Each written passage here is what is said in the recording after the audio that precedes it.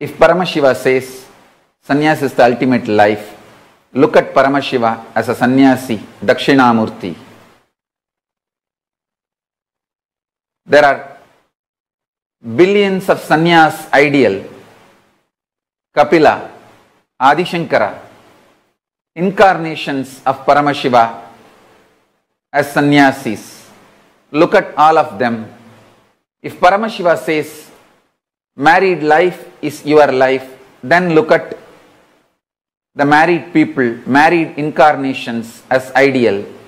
One, be very clear, neither Paramashiva and Parvati, Radha and Krishna, Rama and Sita are married like you. You are never going to have their kind of marriage. If you think you are going to have that, try.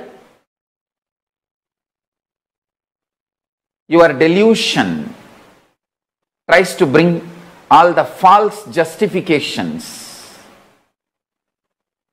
Maybe suffering will teach you your delusion and false justification, false ideas attributed to the ideals. All these are delusion based questions, not the real seeking.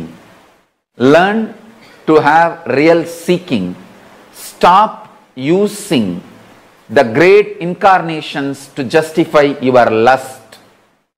Your inability to do tyaga of lust should be directly dealt as your failure.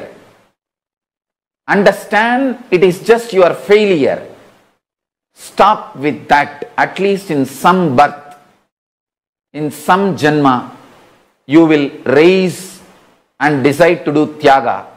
Do not use Radha and Krishna, Rama and Sita, Shiva and Parvati to hide your dirty failure.